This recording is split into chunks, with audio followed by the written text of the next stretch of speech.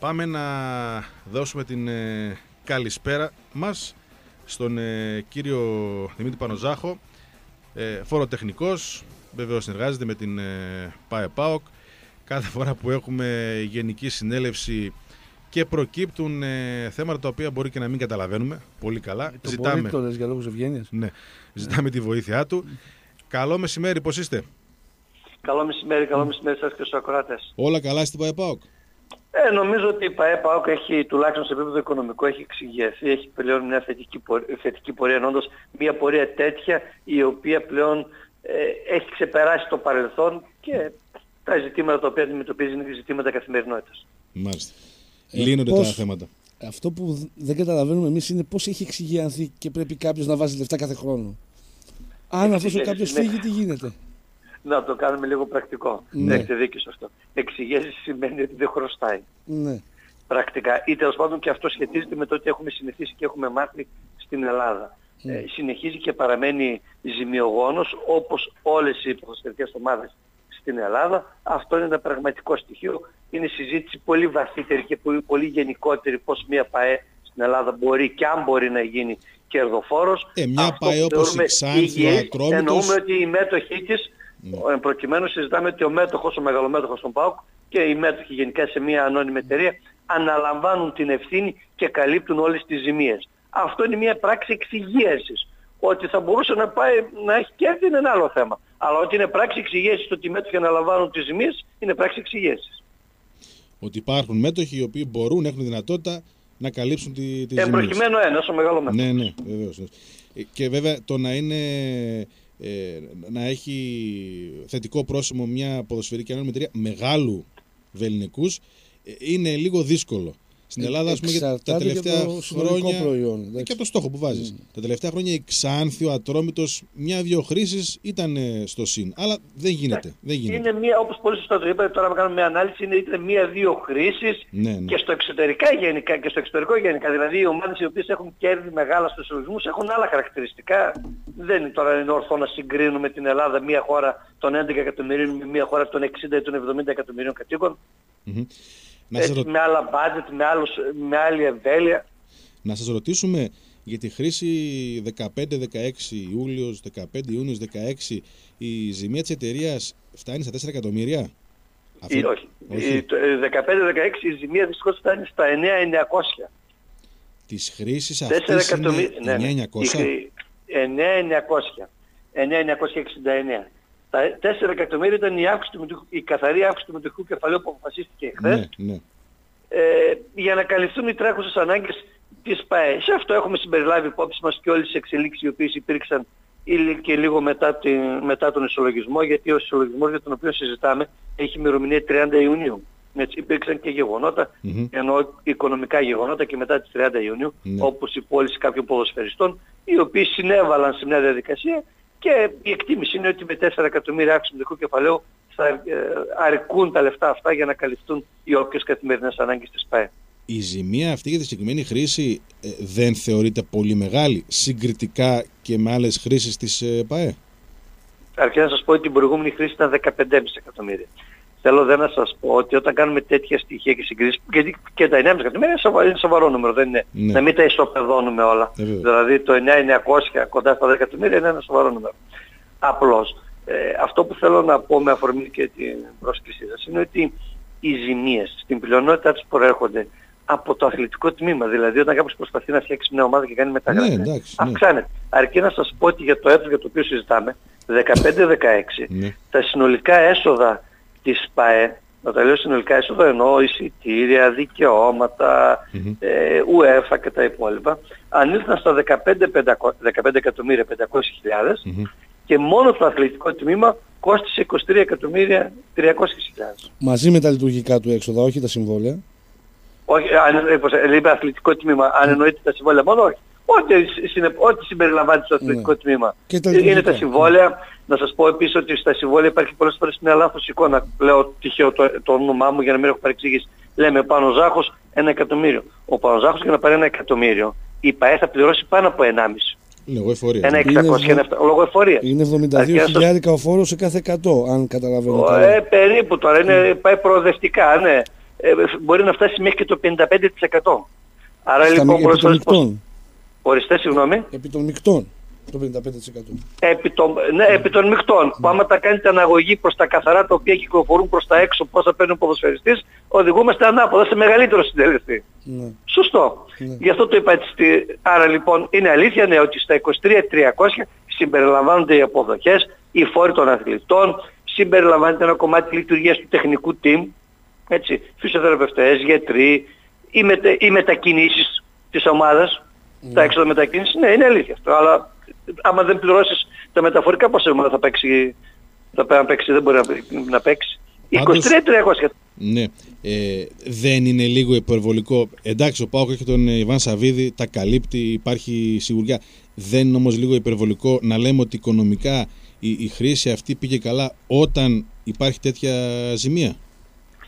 Ακούστε, ναι. Αν όμως σκεφτείτε ότι η χρήση αυτή είχε αύξηση των εσόδων περίπου 50%. Δηλαδή το 14-15 Μμμ. τα έσοδα της ΠΑΕ ήταν περίπου τα λέω στρόγγυλα τα νούμερα για να μην πλέξουμε σε πολλές λεπτομέρειες στα 13 εκατομμύρια και έχει παρακάτω και έχει πάει στα 19 εκατομμύρια. Άρα λοιπόν είχε μια μεγάλη αύξηση εσόδων έτσι, όπου η επιλογή γίνεται αυτή η αύξηση των εσόδων να μεταφερθεί στο αθλητικό τμήμα, αυτή είναι μια επιλογή Ναι. και αυτή αποτυπώνεται και στα νούμερα. Εγώ δεν είμαι για να κρίνω τις επιλογές, είμαι για Ναι, να λέω ναι, ότι ναι. αποτυπώνται στα νούμερα. Ναι, ναι, βέβαια. Εννοείται. Έτσι. Λοιπόν, μ, καλά θα ήταν να ήταν ακόμα περισσότερα τα έσοδα. Φαντάζομαι ότι όλοι θέλουμε τα έσοδα, εγώ δε- ειδικά δε ως άνθρωπος ε, με τα νούμερα και τις, ε, και τις λογιστικές, θα ήθελα να μην έχει καθόλου ζημίες. Αλλά μου φαίνεται λίγο δύσκολο. Αυτό όμως που είναι σημαντικό Μμμ. είναι ότι πρώτον και αφορά τους ανθρώπους του ΠΑΟΚ και τους φιλάθλους, αφορά ότι πρώτον η ΠαΕ ΠΑΟΚ άφησε πίσω πλέον όλα τα προβλήματα τα οποία είχε οικονομικά. Είναι αλήθεια ότι αυτό έγινε με τις πλάτες ενός ανθρώπου, οικονομικές πλάτες ενός ανθρώπου Ναι. του μεγαλομετόχου. Δεύτερον, ότι γίνονται και βήματα προς τα μπροστά, αυξάνονται τα έσοδά της ξανά. Αυτή είναι η δεύτερη πράξη. Το τρίτο στοιχείο που κανείς μπορεί να αποτυπώσει είναι ότι η επιλογή από ό,τι φαίνεται είναι αυτή η αύξηση των εσόδων και η όποια ενίσχυση να μεταφέρεται στο αθλητικό τμήμα. Αυτά είναι τα χαρακτηριστικά που μπορεί κανείς να βγάλει μετά από μια ανάλυση του ισολογισμού που εχθές συζητήθηκε στη Γενική Συνέλευση. Η ζημία της χρήσης την είπαμε. Ε, συνολική ζημία μπορούμε να αναφέρουμε αυτή τη στιγμή; Ε, πώς δεν μπορούμε να αναφέρουμε, είναι δημοσιευμένα όλα αυτά. Εννοείται είναι; όλα τα έτη διαχρονικά, φαντάζομαι. ναι, Αυτό εννοείται. πού έχει φτάσει αυτή τη στιγμή. Ναι, ναι, μισό λεπτό για να μην το κάνω τα κανένα λάθος. Θα το έχετε έχω πω πάλι λίγο μπροστά μπροστά μου ένα σας. λεπτό και θα σας το Ναι. πω ακριβώς το νούμερο. Λοιπόν, Αχ. Λοιπόν δεν το μισό λεπτό. Ναι, ναι. Λοιπόν, οι ζημίες να ξέρετε είναι περίπου περίπου μισό λεπτό για να μην κάνουμε κανένα λάθος είναι περίπου διαχρονικά από την ημέρα που ξεκίνησε πες το, η, η υπόθεση από το 79 που ξεκίνησε η ΠαΕ περίπου στα 75 εκατομμύρια. 75 εκατομμύρια. Μάλιστα. Όλα αυτά τα, τα χρόνια. Μας ακούτε; Έχουμε ένα θέμα με την επικοινωνία, να τον καλέσουμε και πάλι. Προφανώς κάτι συνέβη με το, με το κινητό. Για κάποιες ακόμα ερωτήσεις που αφορούν και τη χθεσινή διαδικασία ε, και πράγματα τα οποία δεν τα καταλάβαμε έτσι κι αλλιώς. Εσείς μπορείτε να επικοινωνείτε μέσω μηνυμάτων, FM γράφετε και να αφήνετε μηνύματα στο 545 26. Τώρα μας Είχαμε ακούτε, ένα μας μικρό ακούτε; ατύχημα έπειση γραμμή. Ωραία. Ε, αυτή είναι η Λοιπόν, συνολική έλεγα ζημία. λοιπόν ότι οι ζημίες από το 1979, από όταν συστήθηκε η ΠαΕ, μέχρι, το, μέχρι τις 30 Ιουνίου του 2016 είναι 70.881.000. 70-881.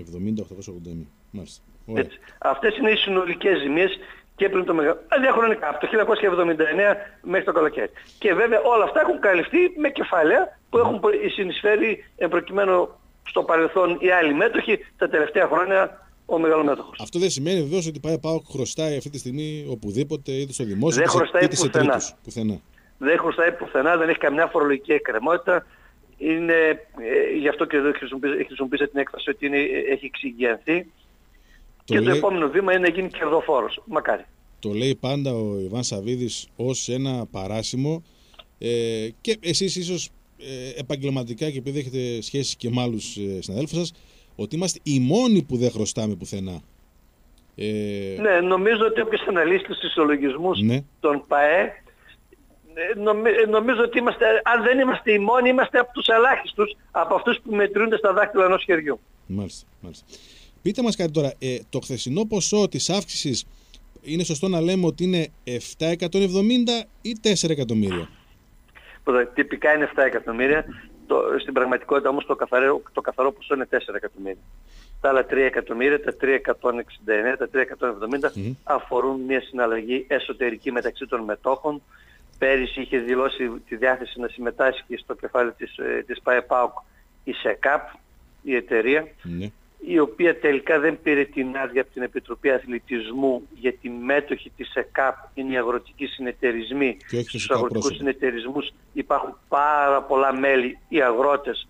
Ο αθλητικός νόμος προβλέπει ότι κάθε ένας μέτοχος σε μια ΠΑΕ πρέπει να δηλώνει ο, μέχρι τελευταίο φυσικού προσώπου το κατάλογο, καταλαβαίνετε ότι αντιμετωπίσαμε δυσκολία ναι. να εντοπίσουμε όλους τους αγρότες που είναι μέλη των συνεταιρισμών, των οποίων οι συνεταιρισμοί είναι μέλη της ΕΚΑΠ και η ΕΚΑΠ ήταν μέλος της ΠΑΕΠΑΟ. Αυτό κύριε Παντζάχο είναι κατανοητό το γιατί ναι. δεν πήρε άδεια. Ναι. Αυτό που δεν έχουμε καταλάβει και αν μπορείτε να μας εξηγήσετε είναι πώς και από πού προέκυψε αυτή η διάθεση της ΕΚΑΠ να εμπλακεί στην ΠΑΕΠΑΟΚ. Ε, δεν μπορώ να αξιολογήσω Δεν μπορώ να σας απαντήσω εγώ πώς προέκυψε η διάθεση της ΕΚΑΠ να συμμετάσχει σε αυτή τη διαδικασία. Αυτό νομίζω θα το απαντήσει η ίδια. Ο Ιβάν Σαββίδης δηλαδή. Η ΣΕΚΑΠ, εν προκειμένου. Και ο μεγαλομέτωχος.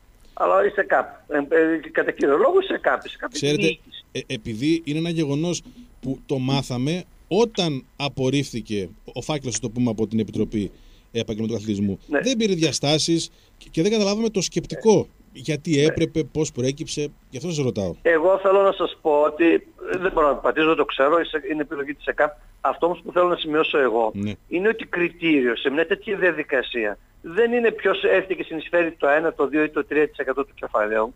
Το σημαντικό είναι ότι καταβάλλονται χρήματα, ότι υπάρχουν άνθρωποι οι οποίοι και, και φορείς οι οποίοι έχουν τη διάθεση να ενισχύσουν τον ΠΑΟΚ. Αυτή η ενίσχυση και η διάθεση πάει υπέρ του ΠΑΟΚ και νομίζω ότι εκεί πρέπει να παραμένουμε σε αυτή τη διαδικασία. Ο μεγαλομέτωχος έτσι και αλλιώς είτε έχει 70 είτε 75 είτε 85 παραμένει μεγαλομέτωχος άρα μπορεί να παίρνει και να λαμβάνει τις αποφάσεις και νομίζω ότι αυτό είναι το κριτήριο και το στοιχείο. Τώρα, τέτοια διάφορα ζητήματα μικροδιαχειριστικά υπάρχουν πάντα, προκύπτουν πάντα πολλές φορές και σε διάφορες άλλες στιγμές. Εντάξει, ήταν από τα θέματα. Οι παρευρισκόμενοι χθες στην Γενική Συνέλευση κατάλαβαν ότι είναι πολύ σημαντικό το ότι ε, μειώθηκε ο δείκτης καθαρής θέσης.